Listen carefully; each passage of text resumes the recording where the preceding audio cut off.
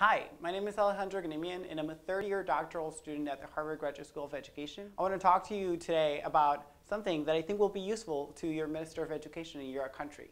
So, my research at the World Bank, where I currently work, focuses on how to get information to policymakers about how to attract, retain, and motivate their teachers. While we know that teacher quality is a very important determinant of student achievement, we hardly know how to attract and motivate and retain good teachers. Together with Emiliana Vegas, who is an HGSE graduate and the lead economist at the World Bank, we're doing two things. First of all, we have created a website where policymakers around the world can access data on teacher policies of both developing and developed countries on everything from um, recruitment to uh, training to uh, pensions, for example. So now what we've done is create this website that is publicly available to everyone that allows countries to actually compare their teacher policies with those of other countries side by side. The same way that you compare a wireless plan, car insurance, or anything pretty much that you can think of.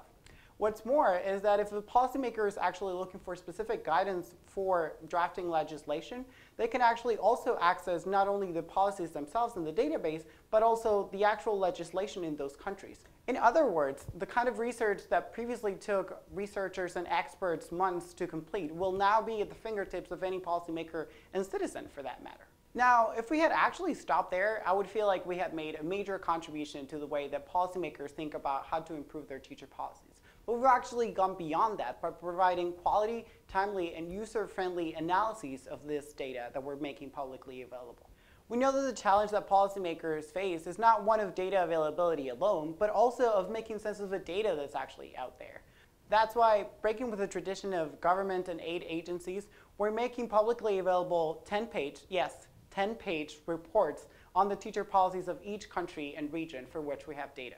The main idea in these reports is that policymakers will be able to tell what is working from what is not. If you think that our research can make a difference in the way that your Minister of Education is making decisions about teacher policies, please share this video either through Twitter, through Facebook, or YouTube. And if you want to learn more about our research or similar initiatives at the World Bank, you can click the link right below to go straight to the page that I told you all about. Thank you so much for watching.